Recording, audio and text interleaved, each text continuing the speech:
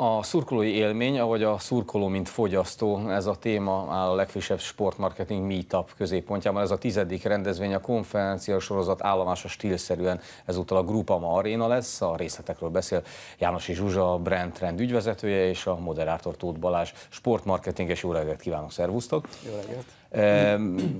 és hát Zsuzsa előadó, Balázs, te vezeted ezt az egész vitát, vagy hát beszélgetést. Az üzlet szempontjából mondhatjuk azt, hogy az a jó ma már, hogyha a szurkoló inkább fogyasztóval válik, mint sem elsősorban, és csak is a mérkőzésre 90 percig koncentráló, vagy ha nem 90 perc, hanem egy kézilabda 60 percig koncentráló néző? Először is köszönöm szépen ezt a felkérést nektek, mint előadónak, ugye, aminek az apropóját ugye az adja, hogy a cégünk a Brandtrend márka tanácsadó vállalat Ausztriában egy osztrák cégnek, az osztrák klubnak, az Eszken ennek a márkai építésében segítkezik. És rögtön a kérdésedre választ adva, azt gondolom, hogy ezt a kettő dolgot nem azt mondom, hogy hibás, de talán korszerű most már nem ketté választani, tehát nem van, nincs egy tipikus szurkoló, majd utána egy tipikus, ö, tipikus vásárló. Alapvetően a szurkoló, vagy az a, az a, az a szurkoló és egyben vásárló, ez, ez egy tartalomfogyasztó, tartalmat fogyaszt akkor is, amikor a sport versenyen, a stadionban nézi a meccset, és márka tartalmat fogyaszt akkor is, amikor mondjuk egy Nike cipőt, vagy utána egy sört megiszik, ami, amivel alapvetően valamilyen szinten egyfajta bevonódás elérhető. Ugye korábban az volt, hogy, a, hogy alapvetően nagy márkák azért csatlakoztak azért csatlakoztak sportszponzorációhoz, mert egyfajta márka tartalomhoz akartak, vagy egyfajta élményt akartak adni a, a, a potenciális vásárlóiknak. Ugye ez a dolog egy kicsit fordulni látszik, és ugye ez látszik a mi együttműködésünk megközelítésében is az Eszkán Szentpöltennel, hogy gyakran a márkák azok, amik egyfajta hozzáadólagos élményt tudnak hozzáadni, akár a sportrendezvények hez is, vagy a sport közvetítésekhez, vagy a sport közvetítések utáni élményekhez, amit ugye akár az otthonukban élveznek a, a fogyasztók. Most például a hétvégén volt szerencsém személyesen ugye a Hertha Bayern meccset is végignézni, hát nyilván azt mondhatnánk, hogy ők hátradőlnek, ugye, hogy 76 ezer néző tele volt a stadion, mégis a Deutsche Bahn, ugye a Hertha fő, fő szponzora az, aki, aki tulajdonképpen az új Hertha Hősök című applikációt megcsinálta a, a, a Hertha részére, hiszen ott van az a szakértelem. Tehát mi ebből a szempontból nem tudom, hogy ti hogy gondoljátok, nem is szponzorokról beszélünk, hanem co-branding partnerekről és smart együttműködésekről. Lassan már azt mondjuk, hogy a Deutsche Bahn szállította a Hertha a labdarúgóit a negyedik helyre, nem, nem a mérkőzésre. Én is ezt megerősíteni tudom, tehát abszolút most már, most már a fogyasztó és a szurkoló az kvázi egy és ugyanazon ö, személynek ö, jelenthető ki, mivel most már nem csak abból áll, amit mondtál is, hogy, hogy 60 perc, illetve 90 perc, hanem egy 24, 24 per 7-es kommunikáció szükséges a, a, a márka, a klub, illetve a fogyasztó között, és ez, ez egy ilyen abszolút egy ilyen szimbiózis alakul ki, és úgy lehet ezt úgy lehet ezt legjobban szemlélni, hogy amikor már egy, egy azt mondjuk, hogy leadjunk a példánál, hogy Herta, akkor a szurkoló egyből kapcsolja a márkát a Hertához, és egy ilyen teljes kooperáció alakul ki, és egy, egy ilyen belső asszociációk azok már meg, meg kialakulnak a márka és a klub kapcsán. Na jó, hát ilyenkor kell vigyázni, mert ilyenkor, hogyha már ennyire összefonódik, vagy a jövő is ugye erre vezet, akkor már mondjuk egy főszponzor szakítása egy klubbal, az lehet, hogy zavart is fog már nem is a szurkoló, hanem a fogyasztó szurkoló fejébe, hogy akkor hova került az a, az a márka, amivel már annyira összekötöm a klubot, hogy lehet, hogy még jobban azzal azonosítom, mint magával a eredeti klubfogalommal. Zsuzsa, ugye egy osztrák példát hozol majd az előadásba, hogy a Sankt Pöltennél lesz, hogy történik a márkaépítés, a szurkolói élmény együtt. Ugye 87-90 között náluk játszott Mario Kempes, ott 34 gólt rúgott, 78-as világbajnok és gólkirály argentin labdarúgó.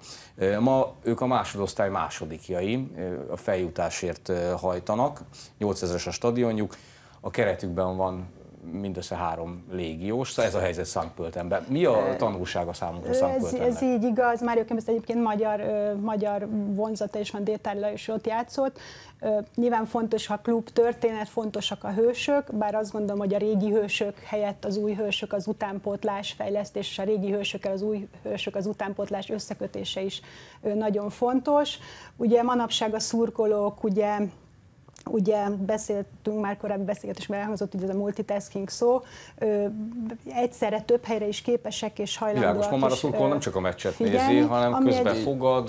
közben a barátaival meg visszanézi a helyzetet. Ez, ez egy esély, más de helyzet. ugyanakkor egy veszély is, ugyanakkor is, és akkor most mindjárt ki is a tanulságokhoz, mert pontosan az Eszkán Szentpöten is rájött arra, hogy nekik már nem csak szponzori szempontból a, a másik többi sportklub a versenytársa, mindenfajta élmény, ami a szurkolót onnan elvonja. Ezért mi a márkaépítés során egy klubvízióról, megkülönböztető jegyekről beszélünk először, és akkor ezek után jutunk el nyilván azokig az innovációkig, amik képesek arra, hogy az, mint az Arena Tément, a Wi-Fi, a, a stadionokban lévő innováció felhasználása. Ami nagy tanulság az, hogy tulajdonképpen ők ugye hasonló helyen állnak, egyébként pont azonossággal állnak most még a múlt álltak, a második helyen, de mondjuk ilyen liga szempontjából hogy a gyírmódhoz, ugye ők is felkerülés előtt vannak, ami egyébként egy érdekes kitörő, hogy volt is velük egy beszélgetésünk a gyírmódtal, de ők bizonyos, nyilván megértve magyar viszonyokat, csendbe szerettek volna maradni, és nem is kívántak márkaépítéssel foglalkozni. Ezeket az előítéleteket az Eszkán Szentpönttel levetközte, és rájött arra, hogy nem a ha szurkoló élményt szeretnék fokozni, nem a szurkolókkal kell először foglalkozni, hanem hogyan tudok egy olyan value co-creation modellt szponzorokkal létrehozni, hogy nem csak pénzeket, mint például a Rapid most ugye ez a crowdfunding modellel alapvetően szurkolói pénzeket próbál behozni a klubmodellbe, hanem hogyan tudom azt a márka know ami a szponzoroknál megvan, az én saját márka értékeimmel és víziómmal egyesíteni, és azt úgy, úgy tovább építeni ezt az élményt a szurkolók felé, és utána nyilván a végén ott áll egy vásárló, hiszen mindenki üzleti modellje valahol ugye a pénzről szó, kell, hogy szóljon a végén, de hát nyilván van a sportnak egy társadalmi haszna, amiről gyakran itt elfeledkezünk. Na, de és akkor itt van, mondtad, hogy ez jó volt ez a gyírmód párhuzam, hogy vajon a tanulságok, hiszen ugye egy olyan közegben, mint a e, miénk, ahol e, ugye államilag erősen támogatott a e, futball és a sportvilág költségvetési infrastruktúra fejlesztések zajlanak, az utánputlás működtetés ugye adókedvezményekből e, folyik, Szóval mennyire érvényesülhet, mit gondoltok, ez a fajta, ez, ezek a víziók, ahol, ahol ugye a versengő piacról van szó, ami ugye gyorsabb, kegyetlenebb, szóval ez a logika, meg a, egy kicsit ez a kis óvott, védett magyar helyzet. De mindenképp kiemelnék egy mondatot, amit Csuzsa mondott, mert az a fontos, hogy, hogy ők már rájöttek, az osztrák csapatról, csapatról gondolom, hogy rájöttek, hogy, hogy ők már nem verseny, tehát nem mint egy sport, egy, egy 90 perces eseménnyel versenyeznek, hanem ők már tényleg egy, egy entertainment, tehát hogy versenyeznek a mozikkal, versenyeznek a színházzal, illetve más olyan szolgáltatásokkal, amik, amik jó érzést, szabadidő eltöltést, lehetőséget nyújtanak.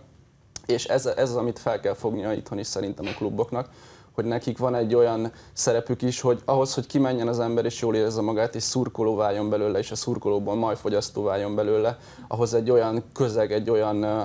ö, olyan élmény szükséges, ami ott is tartja ezeket a szurkolókat. És ennek a, ennek a, a nyomása, ennek a, a, marketing megközelítése az, ami nagyon fontos szerintem itthon. Na igen, és hogy erre mondjuk mikor fognak Magyarországon ráfeküdni, ez az érdekes kérdés, azon a végén egy kicsit ezzel foglalkozunk. Amikor megint csak visszatérek erre, akkor gyakorta mondhatják azt és válaszolhatják azt, hogy minek nekünk ez a sok hókusz-pókusz. A rendszer más alapokon áll, tudjuk, hogy mik a bevételek, tudjuk, hogy mennyire piaciak, illetve nem piaciak. Nekünk az a dolgunk, hogy jó, csapat lehessen, jusson be a BL-be, az Európa Ligába, nem a szurkolókkal kell törődnünk. Nyilván a rendszer jelenleg kontraproduktív, most ha focit veszük, nyilván az EB egy jó esély lenne arra, hogy ne csak a, a válogatottat építsük, hanem az egyéb klub tehát a klub érdekeket is figyelme vegyük. Ő adta az álmosságszót, mondtad, nyilván itt van egyfajta inkább éberség, ahogy te is ezt a szót egyszer egy korábbi beszélgetésünkben említetted, ez nyilván ennek vannak szervezett szociológiai ö,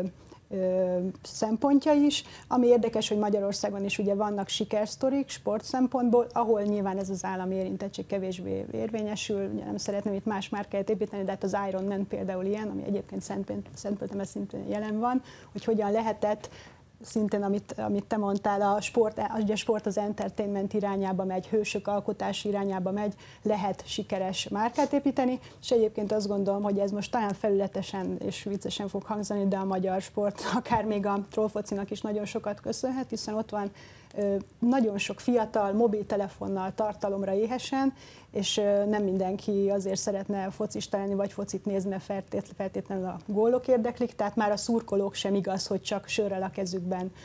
üldögélnek, aztán elmennek vásárolni, vagy sáv van a nyakukban, a szurkolók is tipizálhatók, vannak szakértő szurkolók, vannak trend, trendteremtő szurkolók, passzív szurkolók, cinikus szurkolók, és ott van ez a harmadik generáció, akikre nyilván az utánpótlás sportba és a szurkolói élmény építésébe is hogy sokkal több figyelmet kellene fordítani. Na, erről fog szólni a konferencia, mert a végére értünk. Úgyhogy hát én sok sikert ehhez az újabb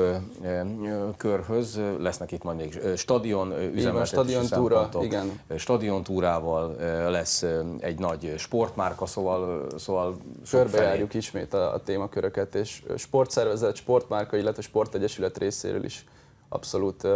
minden szegmens megfogható lesz majd a szurkoló élményből, úgyhogy javaslom, hogy mindenki jöjjön el és hallgassa meg az előadásokat. Köszönjük Jó munkát hozzá. Köszönjük szépen. szépen.